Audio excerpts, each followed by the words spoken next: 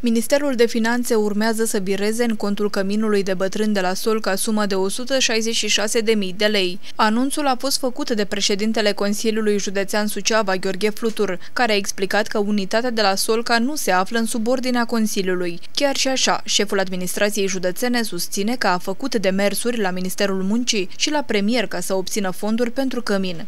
Finanțele ieri a făcut o scrisoare că le-au prins bani.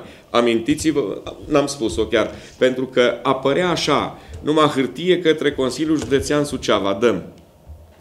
Ei nu sunt în subordinea noastră. Și am făcut la Ministerul Muncii, am făcut la premier hârtie, finanțele ieri le-au scris o scrisoare că au bani pentru căminul de la sol. Nu știu cât. Întrebați pe domnul Ropotă.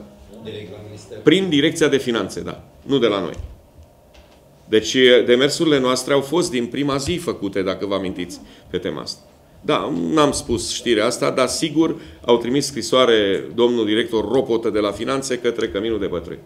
Directoarea Căminului de Bătrân de la Solca, Elena Repciuc, ne-a spus că cei 166.000 de lei sunt din cote defalcate din TVA. Suma este alocată în baza unei legi care a fost modificată anul trecut și care permite finanțarea unităților de asistență socială în mod simultan de la bugetul local și bugetul central. Problema este că banii de la finanțe nu ajung. Directoarea Căminului susține că pentru îngrijirea bătrânilor, plata salariilor și utilităților, Căminul are nevoie de 1.200.000 de lei pe an.